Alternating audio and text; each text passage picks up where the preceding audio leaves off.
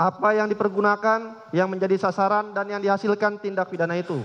Motivasi apa yang telah mendorong terdakwa untuk melakukan tindak pidana itu. Benar hak terdakwa dirugikan untuk melakukan pembelaan diri. Surat dakwaan tidak jelas dan tidak lengkap memuat elemen atau unsur-unsur tindak pidana yang didakwakan atau isi rumusan surat dakwaan antara yang satu dengan yang lain saling bertentangan atau surat dakwaan tidak merinci secara jelas bagaimana tindak pidana dilakukan terdakwa atau surat dakwaan tidak mencantumkan secara jelas waktu dan tempat tindak pidana dilakukan.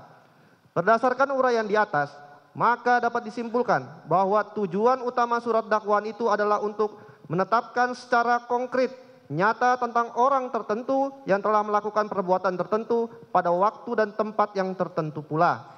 Sehingga kalau sudah terpenuhi tujuan utama surat dakwaan, maka dakwaan tersebut tidak dapat dikatakan batal demi hukum bahwa sebelum menanggapi eksepsi atau nota keberatan penasihat hukum terdakwa, terlebih dahulu penuntut umum menguraikan hal-hal sebagai berikut.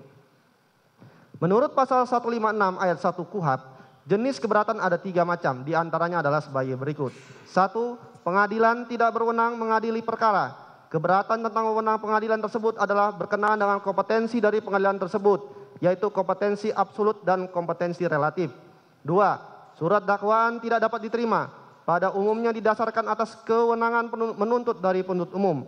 Apabila wewenang penuntut umum dalam menuntut suatu tindak pidana sudah hapus sebagaimana pasal 75 KUHP, orang yang mengadukan pengaduan berhak menarik kembali dalam waktu tiga bulan setelah pengaduan diajukan. Menurut pasal tersebut, apabila suatu tindak pidana aduan di mana pengadu telah menarik kembali aduannya, namun tindak pidana tersebut dilimpahkan ke pengadilan oleh penuntut umum untuk disidangkan dalam hal tersebut, terdakwa atau penasihat hukumnya dapat mengajukan keberatan bahwa surat dakwaan tidak dapat diterima dengan alasan bahwa aduan telah ditarik kembali dan menurut pasal 75 KUHP kewenangan penuntut umum telah hapus. Pasal 76 KUHP yang biasa disebut dengan nebis in idem. Pasal 78 KUHP yang biasa disebut dengan daluarsa. Surat dakwaan yang didakwakan oleh penuntut umum bukan perkara pidana tetapi perkara perdata surat dakwaan harus dibatalkan sebagaimana pasal 143 ayat 2 dan 3 KUHP apabila surat dakwaan yang dibuat oleh penuntut umum tidak memenuhi syarat material yang dimuat dalam pasal 143 ayat 2 huruf B KUHP adalah batal demi hukum. Sedangkan surat dakwaan yang tidak memenuhi syarat formil sebagaimana diatur dalam pasal 143 ayat 2 huruf A KUHP dapat dibatalkan karena mengakibatkan error in persona. Batas ruang lingkup materi eksepsi tersebut ialah eksepsi hanya dapat diajukan terhadap dakwaan atau kewenangan pengadilan, kompetensi mengadili. Jadi dengan demikian eksepsi hanya boleh diajukan terhadap hal-hal yang bersifat prosesual eksepsi dan tidak diperkenankan menyentuh materi pokok perkara yang akan diperiksa di sidang pengadilan yang bersangkutan. Dengan perkataan lain, eksepsi hanya ditujukan kepada aspek formil yang berkaitan dengan penuntutan atau pemeriksaan perkara tersebut oleh pengadilan, sedangkan aspek material perkara tersebut tidak berada dalam lingkup eksepsi. Dalam materi eksepsi atau nota keberatan terdapat dalil-dalil lain yang dikemukakan oleh penasihat hukum terdakwa. Maka penuntut umum akan menanggapi keberatan penasihat hukum atas nama terdakwa Riki Rijal Wibowo sebagai berikut. Satu, bahwa terhadap alasan eksepsi atau nota keberatan penasihat hukum terdakwa Riki Rijal Wibowo mengenai uraian peristiwa oleh jaksa penuntut umum di dalam surat dakwaan tidak bersesuaian dengan pasal yang didakwaan. Setelah penuntut umum mencermati uraian eksepsi atau nota keberatan, penasihat hukum terdakwa Riki Rizal Wibowo yang menceritakan terkait peristiwa-peristiwa baik di kejadian Magelang, rumah Saguling, dan rumah Duren 3, video halaman 8 sampai dengan halaman 17. Yang mana hal tersebut secara jelas dan tegas sudah menguraikan materi pokok perkara yang bukan ruang lingkup dari eksepsi sebagaimana dimaksud pasal 156 ayat 1 KUHP. Selain hal tersebut, pada pokoknya penasihat hukum terdakwa juga menguraikan keberatan karena uraian peristiwa dan peran masing-masing terdakwa disimpulkan oleh penasihat hukum. Dilakukan dengan cara copy paste antara dakwaan yang satu dengan yang lain.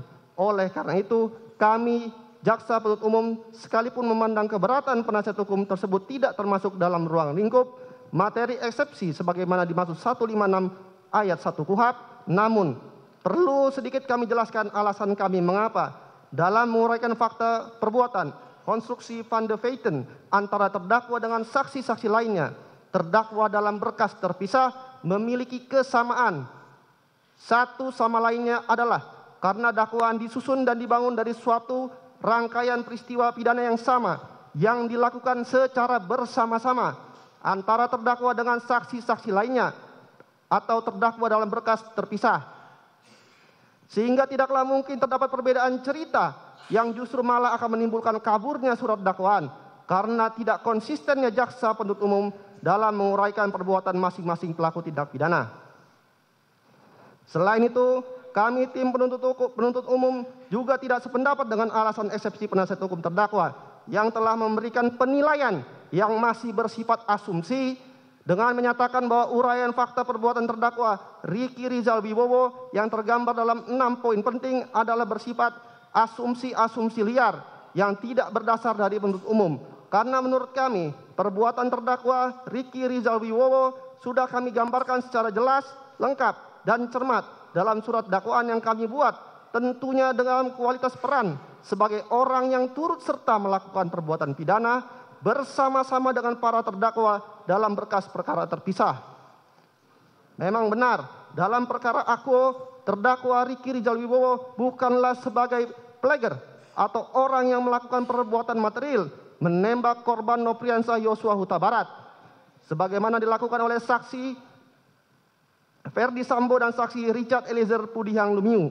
Namun, justru dengan enam poin penting, perbuatan yang telah dikemukakan oleh penasihat hukum tersebut telah menggambarkan adanya perbuatan terdakwa dalam kualitas sebagai orang yang turut serta medapleger dalam mewujudkan bagaimana tindak pidana merampas nyawa korban Nopriansa Yosua Huta Barat bisa terjadi dan dapat dilaksanakan dengan sempurna, full toit, sesuai dengan yang telah direncanakan.